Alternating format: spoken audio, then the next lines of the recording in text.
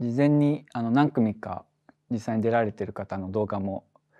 見させていただいたんですけど本当にこう素晴らしい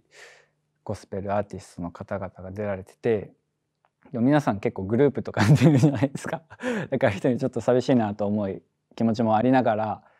でもあの一人でも多くの人に本当にタッチ届く、ようにという思いで参加させていただきました。僕自身結構感情の起伏が激しいんですよ。あの結構浮き沈みが激しくて、まあ、ちょっとした人の言葉でなんか1週間くらいずっとあれどういう意味なんだろうって考えたりとかその人はそんなに深く考えてないけど僕の中では結構トゲに思えたりとかそういうことがあってなんか人間的な思いで言うとやっぱり承認欲求って皆さんあると思うんですけどその歌自身のこととかなんか声いいねとか言ってくれるのは本当に嬉しいんですけどでもやっぱり一番嬉しいのはなんか僕の歌を聴いて一緒に賛美してるとか一緒にそれを聞きながらお祈りしてますとかいう言葉を聞くとすごいやってよかったなというかこのためにやってるんだなっていうふうに思うことができるのでなんかそれを聞いて僕も励まされるしあもっともっとこう押し流していきたいって思いにさせられますね。本当にコロナ禍の中で与えられた賛美で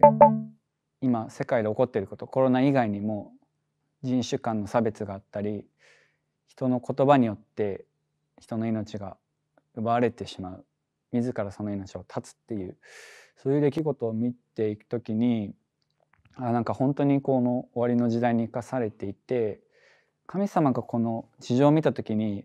どう思ってるんだろうなって思ったらやっぱり多分心痛めてるしでもその中でも僕が信じてきているその愛っていうのは今も注がれているっていうことをしがみついてもそれを掴んでいたいっていう思いで与えられた賛美ですね。なのでこれを聞いてる方もそのうん地球が作られた時からずっと続いている流れ続けているその愛に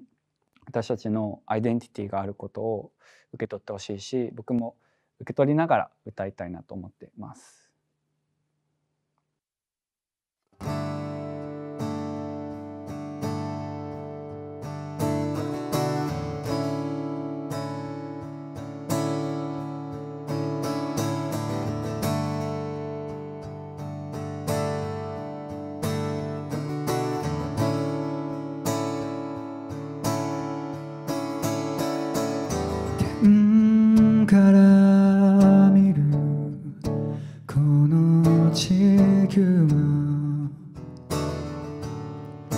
ちぼけで醜い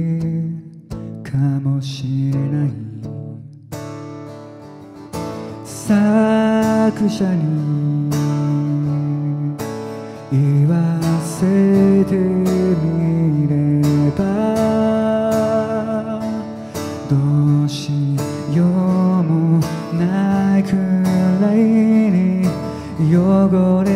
ているかも。だけど一度として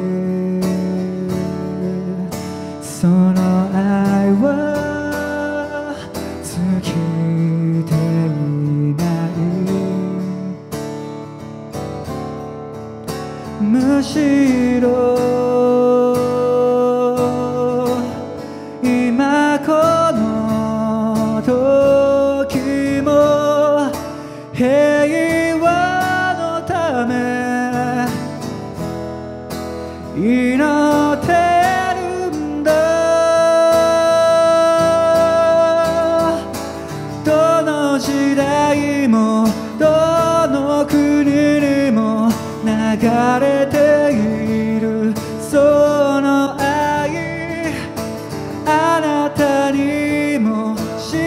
てほしい。その愛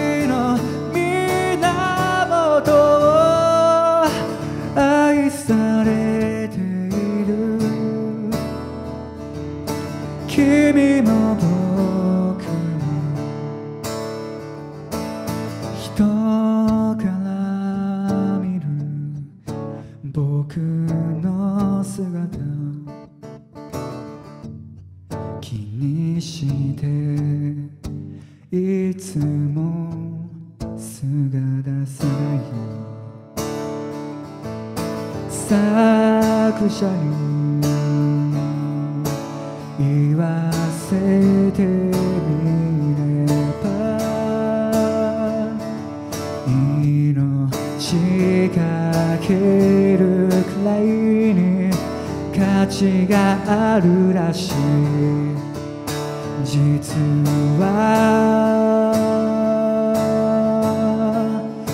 一度としてその愛は尽きて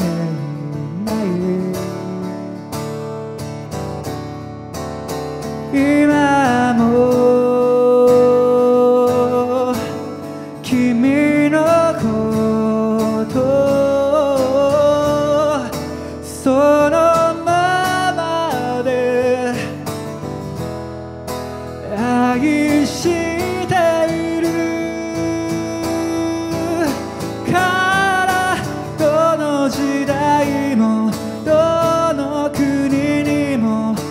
流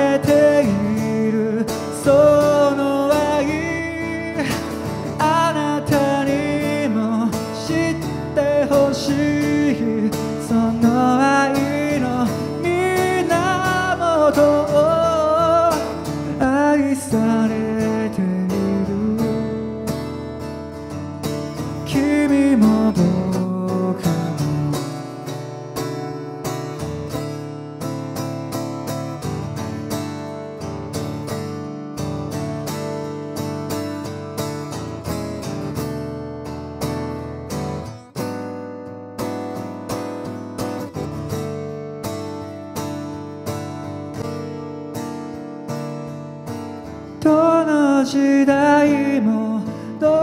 の国にも流れている。その愛あなたにも知ってほしい。